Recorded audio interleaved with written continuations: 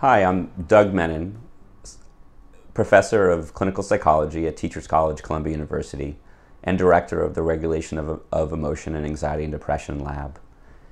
What's most excited me is trying to understand chronic anxiety and mood disorders uh, and using a perspective uh, where we try to understand people's emotional experiences, how they respond to those experiences, and how they manage and regulate them we've actually had a lot of advances in understanding and treating anxiety and depression, particularly from a behavioral perspective, uh, cognitive behavioral treatments. Over the past 20, 30 years, we've done a lot in, under, in understanding and, and, and being able to really advance uh, our knowledge of these conditions and, and help people get better. But there are some uh, individuals that have, still have a really hard time, uh, and particularly some types of anxiety and depression. Um, in particular, when, when anxiety uh, and depression arise often in the individual, when, when the individual is very distressed and, and there doesn't have to be an external problem. We think, well, that anxiety or that, that sadness, that's, that's understandable given that person's life. But many people have those kind of experiences without necessarily having a stressor or uh, they, they have a stressor and they do okay. Uh, so it's not always di- a direct relationship between what the stressor is and the way people respond. And even when someone has a difficult event, like uh, a, a, loved one who has a, a, disease or a trauma, people respond differently. And some people respond and, and get very much up in their heads. Um, and that we often talk about is we talk about as distress. And you know, the idea of, of getting in our minds is, is an essential part of being human. It's a uh, it's one of the things that makes that makes us human and makes us effective as as organisms. The ability to get up in our uh, in our minds, think about the things that have gone wrong in the past, think about the things that that we want to go right. Think about ourselves as if we were a fly on the wall. This self consciousness is an essential part of being human, but it's also a source of a lot of misery. Um, in fact, de Balzac said that uh, uh most of our miseries lie in anticipation. Uh, and I, I, I always joke that I learned about that, that quote watching the show Mad Men, but I think it speaks to its ubiqu- ubiquity uh, that we all experience that where we get in our heads. What interested me most about, about these types of thinking uh, is that we learn that they're purposeful. You know, when people get, get worried or ruminate or criticize themselves, they're doing it for a reason, for a purpose.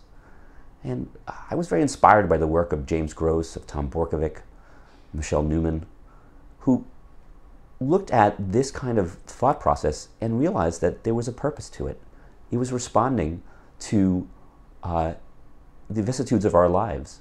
In life, we're, we're constantly uh, uh, hit with, with scenarios and situations, real or imagined, that make us want to protect ourselves or go after something exciting. And that's the basic human conflict is how can we advance ourselves and, and, and still be safe? What we know is that some people manage that experience by getting up in their heads and trying to control it.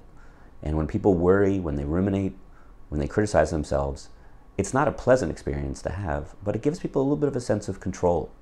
And unfortunately what happens is that that sense of control they, that way of thinking gets reinforced and it changes uh, the way they are in the world and the world looks different. It looks scarier, it looks sadder, it looks less hopeful.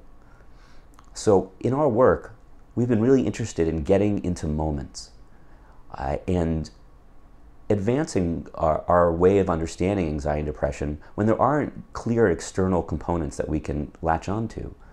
When, a, when an individual is suffering in this way, uh, we want to get into, the, into moments and understand the cascade in their mind understand the ways that they're they're they're getting motivated by uh, something real or imagined, the way they're responding by getting uh, self-conscious and getting self-critical or worrying or ruminating, and then what are the consequences of those things? And one of the things we've done is develop a a a, a focused treatment, a, a psychotherapy, a behavioral therapy, but one that's that's targeted to the components of what we think is going on when someone's in this state of mind. And so we examine uh, the ways that, that people attend to their experience and try to increase a sense of pliancy and, and flexibility, uh, the ways that people take perspective on their mind uh, and be able to see themselves and see, what's, see the ways that they're responding and gain distance from that, uh, and the ways they're engaging reward when there's risk. And each of these components we've worked on honing uh, through a psychotherapy, but a, one that's more targeted and allows for a, a, a more focal relation for what we think is the basic process that's going on. So we actually examine uh, different behavioral and biological mechanisms, and we try to see if we're improving specified tasks related to that component of the therapy. Uh, and, and, and whether we can, uh, we can see uh, both behavior and brain change, or whether that predicts uh, uh, whether people are getting better. And the idea is to try to hone therapy and, and have it be more precise Uh, and uh, improve the lives of people suffering with these conditions.